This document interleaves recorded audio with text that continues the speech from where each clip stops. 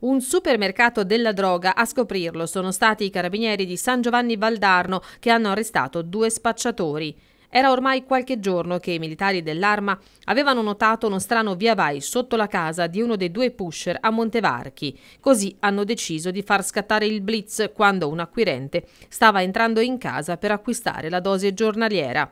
All'interno dell'abitazione i militari hanno sequestrato 15 grammi di cocaina, 127 di marijuana e altri grammi di eroina, due bilancini di precisione, una scatola di bicarbonato usato per tagliare le dosi di cocaina, dei pezzi di plastica trasparente utilizzati per creare involucri termosaldati in cui inserire le dosi, diversi smartphone e oltre 1000 euro chiaro provento di spaccio. I due, un commerciante italiano con precedenti penali e un disoccupato albanese, anche lui con precedenti, sono stati arrestati e adesso si trovano presso la casa circondariale di Arezzo in attesa dell'udienza di convalida dell'arresto.